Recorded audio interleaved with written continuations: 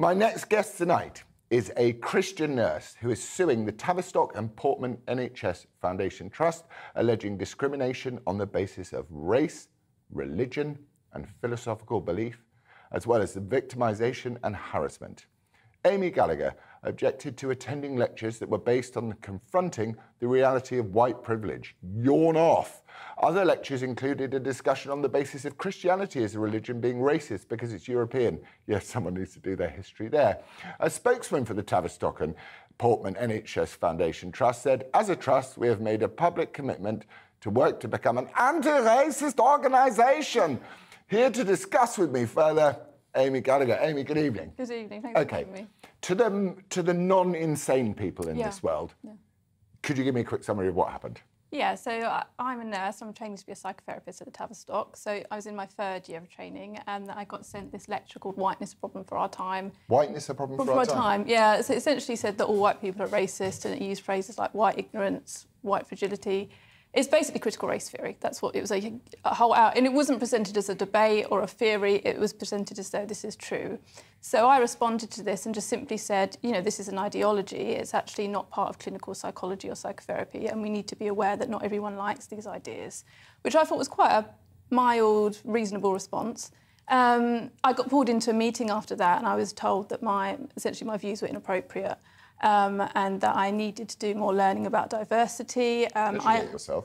Yes, educate myself. Yeah, must. exactly. And I was told, um, so I said, well, my view of not being racist is not judging a person by the colour of their skin, treating everybody equally.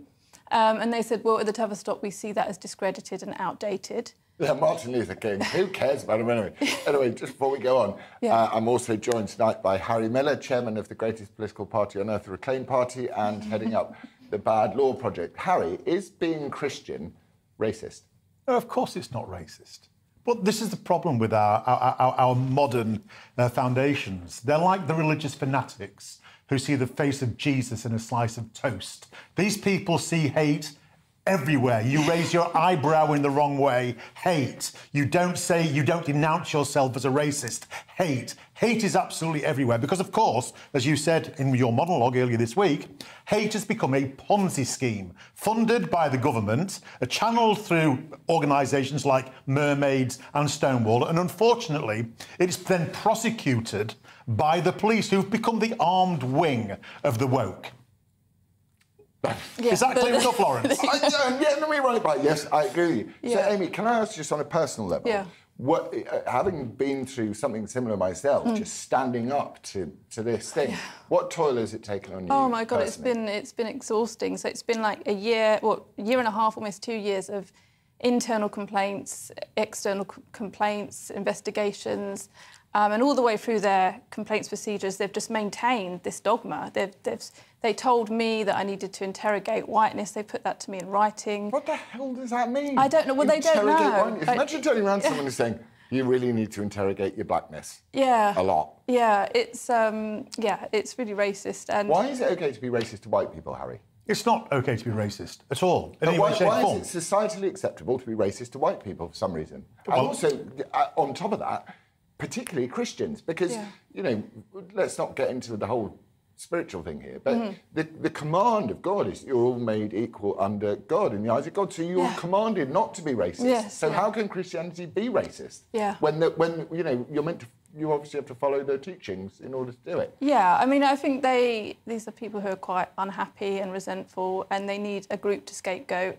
And I think they think they can get away with scapegoating white people and Christians, and it be seen as kind of moral or virtuous to do that because they think they're standing up to a kind of power dynamic or something like that.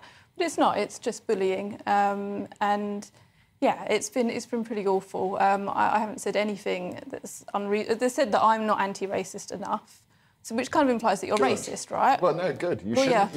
You, no one should be anti-racist. No, you should yeah, I be not agree. racist. Anti-racist just goes. What's the opposite of anti-racist? Is racist. Yeah. So tell us what you're going to do, and Harry, tell us how the Bad Law Project is supporting Amy. Yeah, so I'm suing the Tavistock for, Good. like as you said, for racial discrimination, religious discrimination, and harassment and victimisation. They've, since I served court documents to them, they've bullied me further. They gave a speech to all the students saying that I've committed hate speech. Um, they've suspended me, told me that I'm unsafe to see patients. It's just been harrowing. You do look unsafe. To be fair. I'm, I'm, spooked. I'm spooked. Yeah. Um, so I've yeah we're serving we- we've served court documents and we're going to be suing them. Um, as far as we know, this is quite going to be kind of a precedent-setting legal case because uh, we've seen quite a lot of noise in America around critical race theory, but not so much here. We haven't. Our politicians have been kind of openly have been said that teaching white privilege is wrong. We shouldn't be doing it. But there hasn't been much action, and there hasn't been any legal action. And the Tavistock is an NHS trust. It's a government-funded trust. This is not just a humanities course teaching different theories. This is a clinical training to work in the NHS, and they're treating this as though it's the truth, and you have to follow these ideas. Um, so yeah, we're going to be well, we're, we're going to be testing these ideas out in court essentially, and seeing what the Equalities Act has to say about about this. Harry? Yeah, so the Bad Law Project, we're looking for those seminal cases where we can go in and fight. We differ from the Free Speech Union in this. If you're a member of the Free Speech Union and you get into trouble, the Free Speech Union will come and rescue you from the mouth of the monster. What the Bad Law Project will do, will go in and slay the monster. That's the difference. That's what we're looking to do, Laurence. I love it! May the fight back begin! Yeah. Right, well, now we must go to a spokesman for the Tavistock and Portman NHS Trust who said, We cannot comment on ongoing legal case. Thank you. Right, that's former police officer Harry Miller and uh, head, uh, head of the Bad Law Project alongside me, and nurse Amy Gallagher. We're going to win, guys. It's time to fight back.